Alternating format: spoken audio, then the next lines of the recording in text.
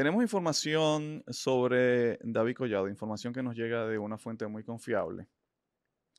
Ustedes recordarán el decreto 124, primer decreto del año 24, promocionado por el presidente de la República. Hizo una rueda de prensa, un espectáculo, cámaras, luces, acción. Acción. Donde el presidente anuncia la regulación de la publicidad estatal en tiempos de campaña. ¡Wow! ¡Qué demócrata!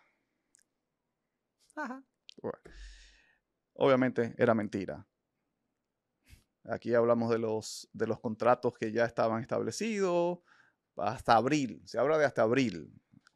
Y ahora recientemente salieron 60 millones que van a ser repartidos en dos meses. Publicidad estatal en tiempos de campaña. Por eso analizamos aquí de que el presidente debe tener algo patológico con esto de las mentiras. Bien, ese decreto evidentemente solamente fue para hacer ¿verdad? ese allante, ese allante, esa publicidad en tiempos de campaña, publicitando al candidato que busca la reelección como yo soy hombre demócrata, voten por mí. Fíjate qué cosa, ¿no? O sea, publicita un decreto para regular la publicidad estatal, Sí. pero en sí ese acto es una publicidad del candidato. Coño, ¿qué? eh? Sí, es un acto de campaña también. Ese eh, fue uno de los eh, objetivos. Pero el otro objetivo también, y el que nadie como que ha puesto atención, es afectar, afectar las intenciones de David Collado. Y frenar un poco a David Collado con este asunto de estar utilizando los recursos del Estado, los recursos del Ministerio de Turismo para promocionar su figura como presidente, David Collado, en sus aspiraciones al 2028. Se regulan. Estoy seguro que regulan eh, la, la- la promoción que tiene David Collado a través del Ministerio de Turismo. Quizás esa ley sí afecte un poco esa parte ahí. ¿eh? Obviamente, y por eso vemos la incomodidad de David Collado cuando sale dando declaraciones. Yo no pago a periodistas desde la institución eh, para promocionar las actividades del Ministerio de Turismo. Todo viene por ahí. ¿ah? Pero claro, David Collado tiene una, ahora con la actividad que se hizo, el FITUR de, La FITUR. de Madrid, pues tuvo que buscar la técnica o buscarle la vuelta a eso, ¿no? Burlar ese asunto de ese decreto. Y señores, Madrid estaba lleno de influencers, Madrid estaba lleno de periodistas dominicanos, de figuras dominicanas, promocionando, yo diría que promocionando al ministro de turismo, David Collado, porque todos los titulares y todos los spots que esos influencers mandaban, no, te- no, era eh, Ministerio de, de Turismo, no, era David Collado, David Collado, y lo vimos en los periódicos tradicionales de aquí. David Collado relanza el turismo, David Collado eh, pone en alto el turismo. Todo eso es una campaña que está, que tiene un objetivo claro, promover la figura de David Collado. Digo que David Collado, ¿cómo burló, burló este decreto? Bueno, con sus amigos los empresarios. Sus amigos los empresarios, donde vemos entidades privadas promocionando esa actividad y pagándoles a esos periodistas y a esos influencers los viajes, las estadías allá en Madrid. Bueno, públicas y privadas, porque recuerda también que el Banco de Reservas Sí, es una, fue un, el un Banco de medio, Reserva. un medio para eso. El Banco de Reserva es que... semi privado, pero es público también, o sea, Sí. y lo nombra y lo nombra el presidente a su, Sí, al, a, digamos Muy al bien, presidente del Banco pero esa, de esa ambigüedad del Banco Reserva le puede dar una defensa en cualquier circunstancia. Ah, yo, soy- yo- Claro, yo- yo- no, pero todos yo soy privado. Ah, yo soy público. Claro. ¿Me entiendes? Pero, eh, y ya esto se había denunciado muchísimo en las redes sociales. Y la pregunta es, bueno, pero ¿qué buscan? ¿A cambio de qué estas empresas privadas invierten en el Ministerio de Turismo? Invierten en David Collado. ¿A cambio de qué? ¿A cambio de qué? ah? Un país, en el capitalismo nada, nada se da gratis. ¿ah? Entonces, las revelaciones que tenemos es que David Collado tiene su asesor presidencial ya contratado. hace un tiempo, Sí, su hace un rato, hace- asesor, hace un ratico, sí. su asesor presidencial, que es un asesor, lo vamos a decir, es una mujer que ha sido exitosa en llevar presidentes. Creo que la última Sí, fue la- presidenta que llevó fue la presidenta de Honduras. Sí, la- Xiomara Castro, la esposa Xiomara de, de, Castro. de Mel Zelaya, expresidente que le dieron su golpe de Estado por allá por el 2009. Sí, esta asesora, que es bastante costosa, imagínense ustedes, eh, es la artífice de todos estos titulares en la, en, en la prensa dominicana y de cómo se está manejando Collado y de las respuestas que está dando Collado a la prensa de que yo no pago periodistas, yo, yo no, no tengo empleados públicos en la administración, es decir, esa es desligándose del PRM, ¿no? De las acciones del PRM. Todo esto obedece a una estrategia de su, de su asesora. Entonces, yo lo que digo, y lo hemos dicho ya aquí, utilizando el ministerio de un ministerio para su promoción presidencial, eso lo pagamos nosotros, lo pagamos nosotros. Hay un compromiso de Luis Abinader desde el origen de la fundación del PRM en apoyar a la hija de Hipólito Mejía, Carolina Mejía, para el 2028. Ese compromiso está ahí y son las bases que fundamentaron ese partido entre esos dos hombres, Hipólito Mejía y Luis Abinader. Por eso es que yo he dicho aquí que estamos ante el último periodo del PRM antes de dividirse. Yo digo, se va a dividir en el 28. ¿Por qué? Y no es solamente por Collado, porque Collado, a Collado le pueden buscar la solución de, bueno, amigo, búsquese otro partido. Esa podría ser la solución de que Hipólito y Abinader le digan a Collado, amigo, búsquese otro partido, porque nosotros tenemos un acuerdo, los, los, dueños de este partido tenemos un acuerdo y la que va es Carolina. Y David Collado se puede buscar otro partido. Empresario tiene. Y el experimento que hicieron los empresarios con Luis Abinader, posiblemente Luis Abinader esté a punto de traicionar eso. Y sean entonces los empresarios que digan, bueno, no nos resultó con Luis Abinader, vámonos todos con Collado. Pero ¿qué pasa? Yo voy más allá, el partido se va a dividir, porque aún sacando a, Luis, a, a Collado, diciéndole busque su partido, Abinader no va a cumplir con Carolina Mejía. No va a cumplir. Porque estamos viendo cómo Abinader está posicionando desde el día uno a Raquel Peña. Sí, él, la, él, está, él está dividido entre el tener que aceptar a David Collado porque es el candidato que marca mucho más después de él. Digo mucho más porque la diferencia entre él y Carolina Mejía en los sondeos internos sigue siendo significativa. Él muy por delante de ella. En los sondeos como presidencial. En los sondeos presidenciales internos es así como te Eso estoy. Mira, yo- mira, llévate de mí, Es que no. llévate de mí, llévate de mí y poner a su propio delfín, que sería Raquel Peña. Eso es, esa es la, la, lo- eh, la, digamos, esa es la diatriba que tiene Luis Abinader. ¿Por qué? Porque no es siquiera David Collado, es la familia Vicini. Es el poder de la familia Vicini.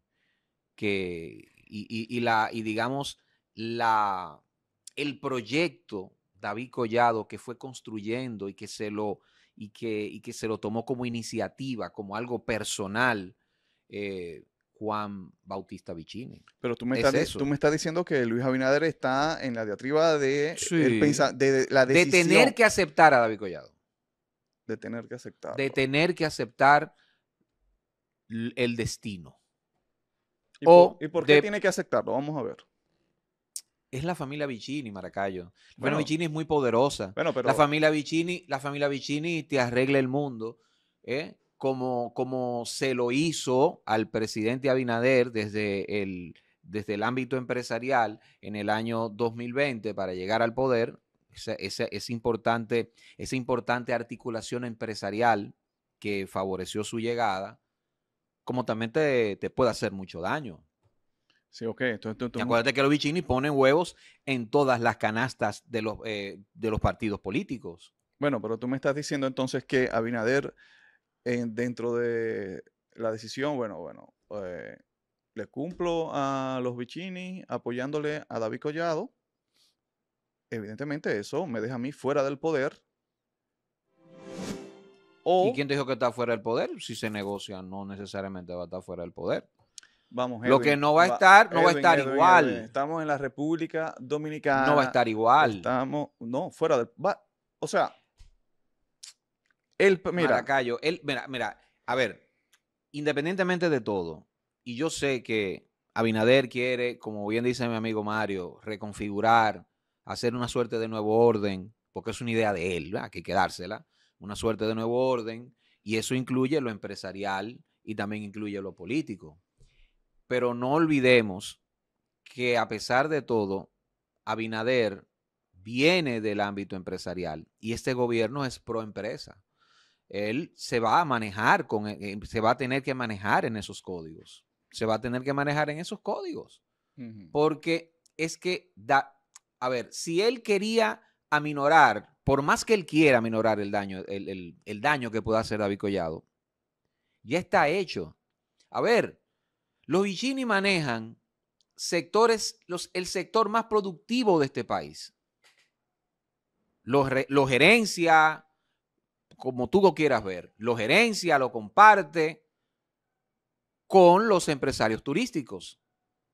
Y además de eso, tiene algo muy importante, una industria cultural que le da beneficio a ellos, que también es el cine. Entonces, lo que te quiero hablando, la apariencia, lo que es apariencia, por un lado, representativo, que es el cine, y por otra parte, el turismo, que es la industria más rentable en República Dominicana, junto con las remesas, yo, yo no, no sé, Maracayo, o sea, él tiene que aceptarlo, porque que David sería impuesto. O, o tú, ¿cómo tú quieres que te lo explique? Él necesitó de David Collado. Eh, Recuerda que David Collado hizo una campaña, viejo, en el año 2020. Él- una campaña no, un spot, grabó un spot o una suerte de alocución, porque fue una, una cadena de radio y televisión, anunciando que iba a apoyar al PRM, al presidente Abinader, y también que él no iba a ser candidato presidencial por nada, porque también se habían difundido esos rumores, recuerda, de que él iba a ser candidato presidencial por país posible y que subterráneamente a Danilo eso le caía bien, le caía simpático.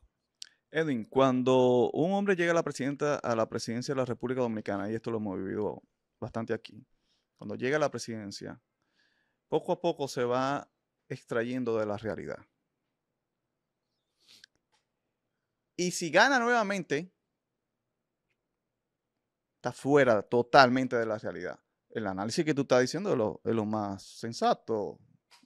Eh, Abinader, bueno, cumple con tus empresarios que te pusieron ahí, traicionas a Hipólito Mejía, antes ya que se abre otro frente. Pero, ok, cumple con los empresarios y apoya a David Collado. Eso quizás sea lo más sensato. Lo más sensato, pero vamos a estar hablando, en el caso hipotético, de un Luis Abinader en un segundo mandato totalmente ido de la, de la realidad. Y lo que hemos visto aquí es que los que llegan allí, y más si tienen un segundo mandato, lo que quieren es perpetuarse ahí. Si no pueden modificar la constitución, ¿qué hacen? Buscan a alguien de que ellos crean, que ellos creen que es alguien que va a obedecer sus órdenes para llevarlo como delfín, para apoyarlo. Por eso es que yo digo que Abinader está pensando en Raquel Peña. Y con eso se va a abrir un fren- un fren- dos frentes, el de David Collado y los empresarios y el de Hipólito Mejía. Por eso es que digo, con David, ok, la solución es David, bye bye. Búscate otro partido. Pero con el frente de Hipólito Mejía es la división del PRM. El PRM, y es lo que yo digo aquí, se va a dividir en el 28. Porque Abinader no va a ser, no ha dado muestra en todo lo que lleva de mandato de ser diferente, de tener un pensamiento diferente a todos los que se han montado allí. Lo que ha dado muestra de, de un mesianismo, de... Pero fíjate, la, pero sé, fíjate, fíjate. Yo, yo, lo sé, pero lo que, lo que yo te digo. Pero yo, yo, mira, yo, yo me estoy basando en, en la, creo que ese es el, uno de los, un eslogan de la constitución chilena, por la razón o por la fuerza. Es así. Por la razón o por la fuerza va a tener que entender eso. pero lo- Porque ahí lo, están los. entendió Danilo Medina. Pero que esos ejemplos. Lo entendió. pero que se dividió el PLD. Sí, ¿Quién pero- iba a pensar que se iba a dividir sí, el PLD? Y, sí, se, pero- y se sí, dividió. pero- Imagínate el Sí, PRM, pero. que nació dividido. Sí, pero él tiene, a ver, al final del día, él tiene una, él tiene la ventaja de que ya vivió eso, de que vi- vivió eso, o sea, vi- vivió como, a- ¿verdad? Vivió desde fuera, fuera de, de edad, del, del PLD, eso, pues nunca fue del PLD, vio, vio lo que pasó, Eh, ¿Vio lo que pasó en el PLD? él vio lo que pasó en el PLD y además, Maracayo, además, te repito, tener a una familia de ese talante. No, porque esa familia siempre ha estado en, todo, No, en todas las Sí, divisiones Mara- de los sí, Maracayo, pero nunca habían tenido un proyecto presidencial. Nunca habían construido un proyecto presidencial. Y por más que me digan, ah, no, que hay una, que, que eso de Juan Bautista Vicini y es que eso no lo asumen los hermanos, que no lo asume Felipe. Mira, yo no me creo esa vaina. Es un proyecto de la familia Vicini. Bueno, bueno, tampoco, tampoco la familia Vicini son los únicos, las únicas familias aquí. Ah, Pero es la más poderosa, Maracayo. mm, Es la más poderosa. Es la más poderosa económicamente. Es la, es la más poderosa en, en- económicamente en este país. ¿Tú entiendes? Y, y yo no sé si, esa, si, esos empresa- si ese nuevo empresario de Santiago van a crecer tanto de aquí al 2028 como para poder pelear eso. Porque la, la familia Vicini, además de que es la más poderosa, puede articular a las otras familias poderosas y econo- económicamente de este país. Ese es el problema, Maracay. Bueno, señores, tenemos a David Collado ya desde este momento trabajando en su candidatura presidencial. Con su asesora, flamante Eh, asesora. ese decreto que tiró el presidente de la República Dominicana para regular la publicidad estatal en tiempos de campaña. ¿Y quién la paga esa asesora? Nosotros. Ah, a mí no me queda ninguna duda. Como, ¿Tú crees como que la- tú la- crees y que- la asesora de Jan Alain, ¿te acuerdas? Así, la, me- la parece la- que es el mismo la caso. mexicana. Sí, la mexicana. Porque Jan Alain quería de que ser presidente. Sí. ¿Quién pagaba esa vaina? Nosotros. No, sí, sí, sí. Por eso tú no, con, lo de la Yan Alain no tuvimos dudas, pero aquí tú ni siquiera tú puedes pensar, mira, eso es privado, eso es- Privado, sí. son los bichinis está que lo están pagando. privado. Bueno, si es privado, esa factura, Eso es- esa eso- factura se la, se- eso es no la van a banco, pasar. eso es banco fulano que lo está pagando. Sí. de la quinta pata, José Maracayo, Edwin Cruz. Recuerden suscribirse, activar campanita, comentar y darle a me gusta para seguir creciendo.